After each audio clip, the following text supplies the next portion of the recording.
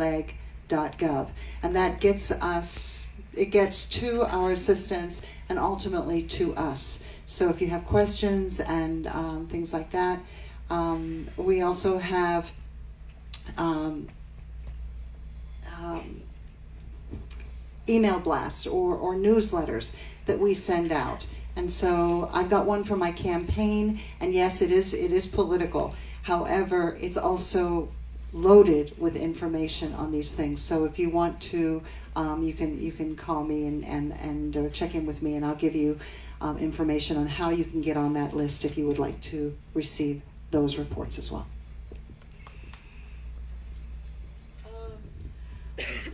I I think um, I think everything has been mentioned. Um, like you said, follow. Everybody um, can follow the work at the when we are in, we when we are in session. But as soon as we start meeting the task force, we will be sending out Twitter um, and Facebook messages so that people know. And we we're hoping to meet in the communities like here in Tucson and in Flagstaff and other communities so that um, we can hear from the from from you from the public um, as we work on on learning more and and and you know making it more aware for everybody to to know what's happening, what we're doing, and at the legislature, um, you can come and testify. Like when uh, you know, Wenona said, you can come to um, to the in come and listen um, to when we debate these bills and also um, in committees, and you can sign up for the request to speak um, so that you can, from wherever you are, you can be involved and put, you know, give your testimony on on on that. And we we we, we you know, like Victoria said, I think, and Wenona, we pretty much do listen and and listen to and read emails and return phone calls and, and emails because um, our constituents are the most important people that, that we have and that we can learn from. Thank you.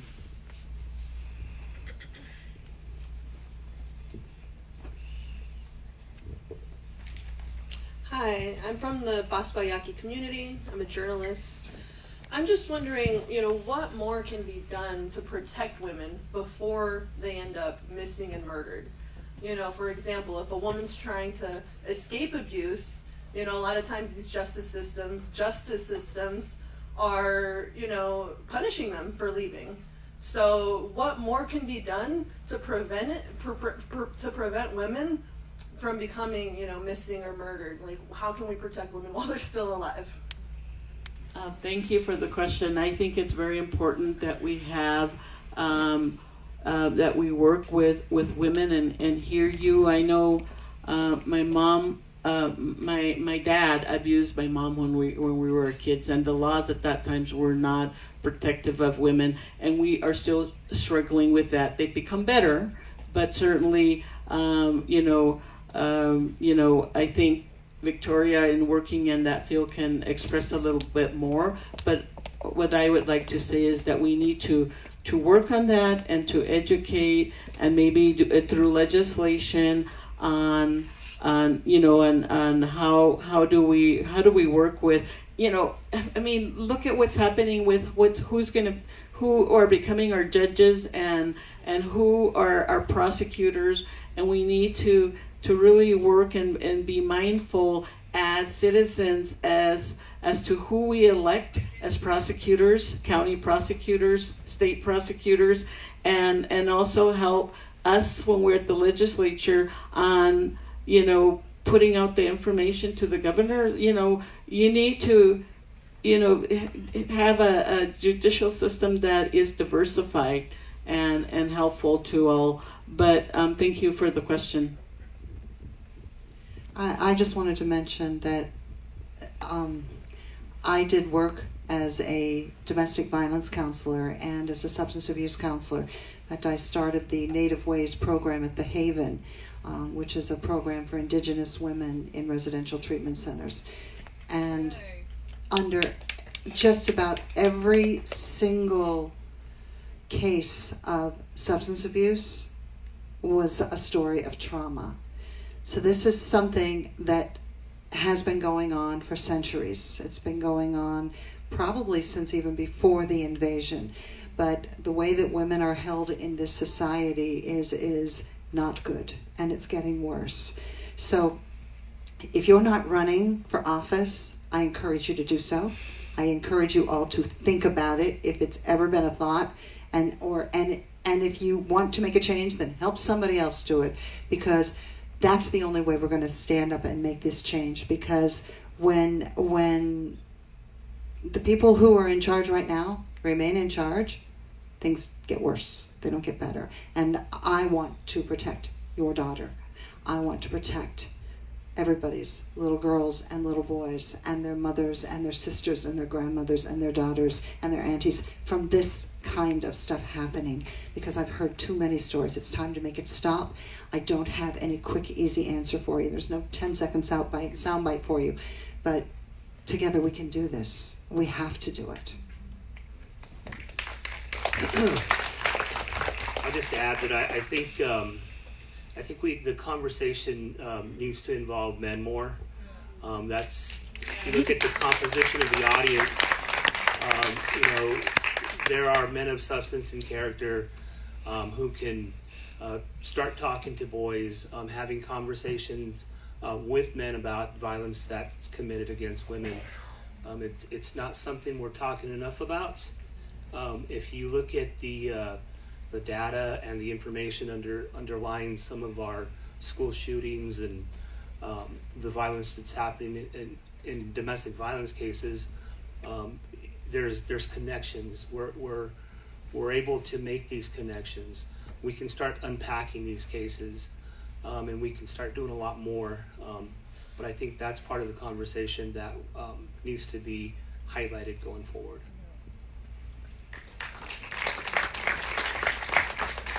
I'll, I'll just add a policy perspective to this. You know, a lot of the programs that are set up, and certainly the ones that have been mentioned, the funding's being cut. You know, these programs are going away. They're not made, um, they're not priority programs by the state. And again, you know, this goes back to um, the folks that we elect and the folks that we put in charge who don't make these issues and certainly the funding that goes with them um, a priority. And so, again, it's, you know, a lot of it too is just finding ways to get the funding back um, for these services, these programs, and making sure that the people we elect make it a priority. Hermana, if I can just real quickly add, uh, and this is something a little plug that we have um, coming up uh, for Indivisible Tohono. We have a, a, call to men event, which speaks directly what um, Mr. Urbina was talking about about having the you know the men come together and discuss these issues about masculine male um, toxic mascu- masculine masculinity. So those are some of the things that we're going to be having next weekend actually. So if you look up on our Facebook page, you can check it out and, and the events coming up. So just wanted to mention that. Good afternoon.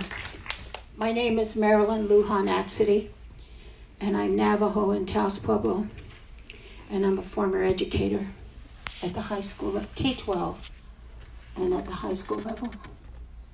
So I've dealt with a lot of young high school girls.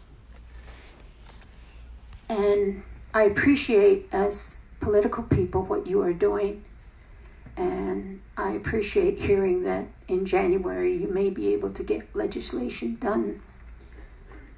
We can't wait that long. I appreciate the fatherhood conferences, but the family need to go to that together. The father, the mother, the kids you need to talk about each of their responsibility and their role as a family member. We need to talk to our young kids, like, like my grandson here. We have to teach them to respect the woman. We don't respect women anymore. Everybody. We have to, there's roles we all play. And I know my children, Mom, you're outspoken.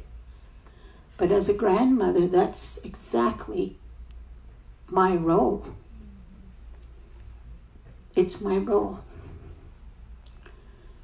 I want to know what can be done now. What can be done this week, next week? What kind of block watches can be done in communities? What kind of workshops can be done in our high schools? What kind of crisis center can be set up in small communities? My children are athletes, they run. I know plenty of Native American women run the back roads, half marathon, marathon. They're running by themselves. And then there's police officers on the Navajo reservation 50 miles away. So I, I appreciate all of you that are there, but we need to go back to our own communities, whether it's TO or anywhere, and ask our community officials what are you going to do in this community?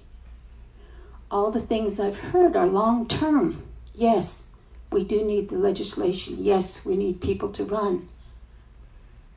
But every time I go visit my brother in Fruitland, New Mexico, I drive by Ashlynne Mike's Memorial. And it's it's sad it's sad, but it's a reminder to me that we're all involved in this. And I thank a lot of you non Indians that are here because we need you too. You are our teachers, you are people that live with us. And the last thing I want to say is um, whatever we can do, we're, you know, we're all here, we're all willing to help. But it's scary that Missing murdered indigenous women is happening in the cities and on the reservations. So, um, thank you.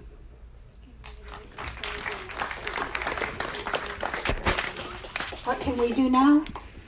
We can, we can go back to our home communities and, and try to see, brainstorm. And I'd like to ask you individually what your recommendations are in terms of what do we do this month? What do we do? Who can we contact? Who can we call? I think for the month, if, if I was to, um, you know, any tribal community or communities, even all the communities, we should all, it should be a state. It shouldn't be this community.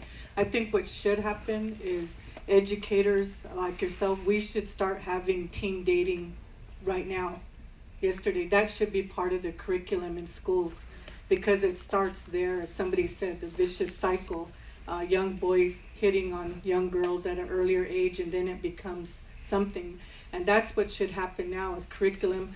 Um, you know, tribes are sovereign. They don't have to wait to get an answer. Tribes are sovereign to start now with getting your teams of your departments and your tribes together to come educate, whether it's your crime victim services, along with your police, law enforcement, that has to start there now. That we shouldn't wait for any legislator. It should it should already be happening for teen dating to stop stalking, to also help them about um, Facebook and bullying on Facebook because that's where it starts as well, um, and it can explode or uh, have a domino effect on anybody that is trying any young adolescent going into. It starts at probably five, fifth grade, maybe even younger when they start to grow.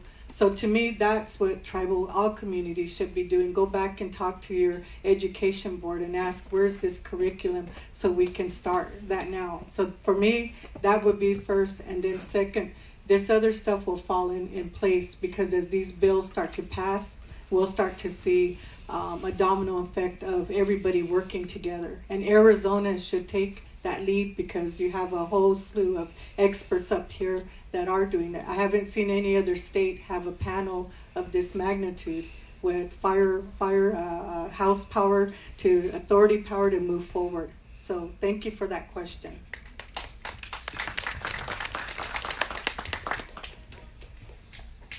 Thank you very much for that comment. I, I absolutely agree with you. And, and you know, this is this conversation is certainly part of a whole larger conversation about all forms of violence, right? I mean, this is something that, um, again, is epidemic for our communities.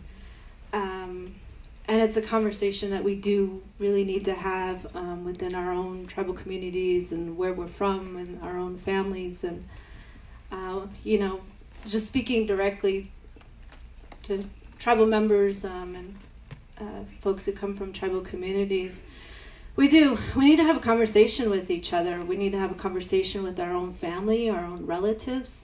We need to talk about this. I know it's hard. It's incredibly incredibly difficult to to talk about. You know, there's not only historical trauma, but when when we get together as tribal people, we always ask the first question, how many of you in here are victims? And you will see like just about everybody in the room raise their hand. I mean, that's how epidemic this problem is, how systematic it is. And I will tell you, you know, a big reason why I'm heavily involved or jumped on this issue is because I too am a victim. You know, I uh, I actually was sexually assaulted literally 1 month after I was elected to office. For someone like me to become a statistic should be earth-shattering to everybody. We literally on this panel live our lives looking over our shoulder. That's how serious of a problem this is. And I know for me, I go back and I'm, I'm starting to have those conversations with my family. It's hard to talk. I come from a family of brothers to say, look, I'm a victim. I can't go out alone anymore. We, we never have, right? So, I mean, it's, I know for me, that's how I've started. I've started having conversations with the men in my family and and once they realize that wow my sister my my daughter my grandchild is a victim it really hits home for them too and so i you know i know that for the again for those of us who are members of tribal communities that we got to find ways to start having these conversations. I know they're tough they're traumatic they're you know very heavily charged but we got to figure out ways to start talking to each other about it.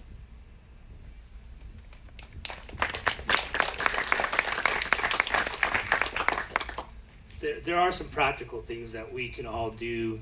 Um, supporting the legislation we've talked about, um, you can certainly call Congressman um, Gallego's office um, on the, the VAWA reauthorization bill, find out where that's at, um, write a letter of support, um, write a letter of, for our Congress folks that haven't co sponsored this bill, ask them to push it through. Um, there's companion legislation in the Senate, so you can call Senator McSally. Um, Senator Sinema is actually um, co-sponsoring it on the Senate side. Um, all of our, I think, Democratic congressmen are co-sponsors. O'Halloran, um, Kirkpatrick, um, Congressman Grijalva is the chair of the House Natural Resources Committee. So those bills are sitting in committee waiting for hearings, and so it's a good time for the public to call, write an email um, to each of these offices um, so that we can get some action or at least find out um, if they can schedule it. Um, any kind of uh, any kind of volunteering you can do with the Tucson Indian Center, um, holding meetings, um, starting Facebook groups, starting conversations with your coworkers. you can even do things like um, you know, supporting Indivisible, Indivisible Tohono here um, in their efforts. Um, you can you can meet locally. Um, there's a lot of things you can do, even if you're not on your reservation, or even if you're not a member of the tribe. Um, there's a lot of things that we can do collectively uh, to push this forward. I think a lot of people don't realize that uh, a huge number, more than 50%, probably more than 50%, of Native people do not live on a reservation. Uh, we live in urban areas. And this problem is in multi jurisdictions. It makes it very complicated. But as as Wenona and I were first talking about it when she brought this this legislation to me and said, "Will you carry this forward?" I I kind of wanted to say no because what's another damn so study committee? While we're studying and gathering the facts and the numbers, more women, more girls are going to disappear. They're going to go missing. They're going to be murdered. They're going to be tortured. They're going to be traumatized. Why can't we start today doing something about that? But I can't tell you how hard it was just to get this bill through. it was it was really I mean, they didn't even want to hear it in the Senate. So fortunately we had here's how we did it. We had a mirror bill. We had one in the House and one in the Senate, same bill. And we knew that one might get killed and the other might get some wind behind it. And that's exactly what happened. Mine got killed in the Senate, so Jennifer Jermaine took it in the House and it picked up speed and it passed unanimously in both the House and the Senate. People are behind us. People want this to happen, and we're going to fight together. But as, as Marilyn was saying, Marilyn Antasy, where are you? There you are. Um, as, as she was saying, we need to start now in our communities. Do what we can, wherever our community is, whether it's it's it's in in central Tucson or or Oro Valley or Tohono O'odham Reservation. We need to we need to really be looking at what we're doing and and start there. Start at home. All politics is local. And unfortunately, this has become a political issue. But I think the solutions can be partly political. But we have to do a lot from our communities, from home. And I, I think what you said was absolutely right on, Marilyn. Thank you. Thank you for the statement. Um, all I wanted to echo is that we do need to start at home, and so um, talking to um, you know our children, our, our my grandchild, my grandsons, and especially, but um, people have to invite each other to these uh, workshops and these learning experiences because I've attended these, um, you know, and there's very little people that are going to them. So we need to invite people to go with us, and and then at the next one to take ten more, and because it's we need to we we really need to work at at really getting people the information and at the being aware and and pass on the the word. Thank you. Excuse me, um, real quick. I just want to make a real quick comment. My name is Julia Chavez. I am Pascua Yaqui. And I really want to thank the panel today because this is something, like we all have said, is a topic of conversation that needs to be brought up. One of the things I wanted to mention, though, is that we really need to work within our tribal communities and our tribal agencies to protect our tribal members and employees. And I say that because, as a also as a survivor of domestic violence, as a young girl straight out of college, um, my ex husband was mean and hurtful and did unspeakable things to me. And I tried to get help, I tried to reach out to my employer, and I got called by the tribal prosecutor because of his position and said, if you do this, we're going to file this against you. And scared me. I could have lost my job, I could have lost my child, I could have lost everything. And at the time, I didn't know. I didn't know how to combat that. And so I didn't press charges. He kept his job, everything moved forward. But those are the kinds of things that are happening too within our tribal communities and to our people. And if I know, if I had known now what I knew if I had known then what I know now, there would have been hell to pay because I would have known what to do. I would have known who to talk to. And that was within our own tribal community. So, my question would be what can we do with our tribes themselves to protect and know that there isn't going to be that backlash, that, um, that they're not protecting their own almost I, I felt like I was in the wrong and, and I left. I left. And things are better today. They're much better today. Um, but now part of my, my job is working to make sure that people are safe and they're getting the help that they need. uh, not necessarily from domestic violence or any kind of violence, but uh, mental and physical health needs met, and making sure that we can get the right resources out to them. So um, I really just want to encourage everyone to, like the the the nana over here said. you know, I'm I'm grateful for what she said because yes, what do we do now? What do we do now? There's too too much time has gone by. Too many lives have been lost. Too many people are still staying quiet because they're afraid to lose their jobs, to lose their families, to lose everything. And for some people that are still living on the reservations, they have nowhere else to go. Where else can I go? Well, what else can I do? Who else can I talk to? So I just, like I said, wanted to bring that to the forefront because not only does it start at home, but it starts, you know, within our tribal systems itself. And what can the tribes do to support some of these efforts that are going forward at the state and national levels too? And are we are we really behind that? Are we really pushing forward for that?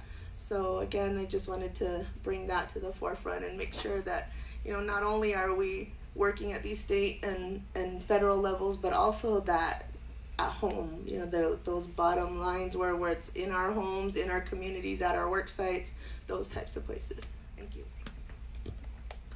Thank you um, for your statement. I think it's very important for, thank you for for really addressing this here. I think it's important for all of us to know. I think um, talking to your to your um, local tribal council um, uh, you know they they have elections too and they need to really hear what's happening in in in you know in their tribes in in our tribes um, with employees and and staff people and we need to make them push for for better um, policies and practices um, at um, in in our tribal um, offices because I think it's important.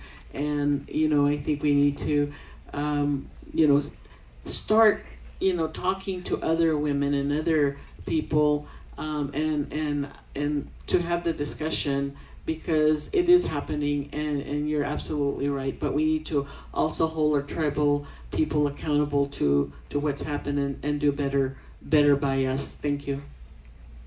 And, uh, thank you so much um, for all the questions, and I do apologize.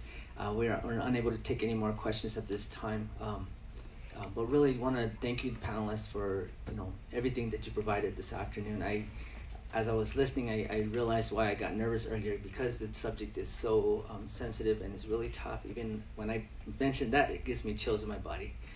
Um, so I, I do hope that we all have this discussion, continue to have this discussion. As I said in the beginning, thank you so much for allowing us to have this, to, to begin these these um, this conversation. Um, but I do don't want to take too much time. I want to pass it on to Elaine.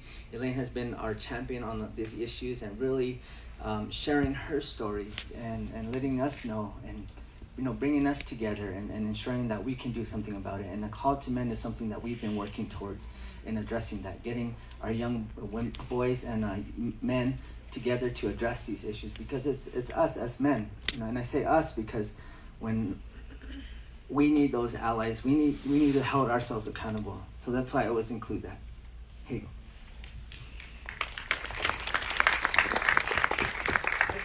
Add something real quickly. I'm not sure how many of you are precinct committee people. I'm a precinct committee person in LD9. We have a meeting.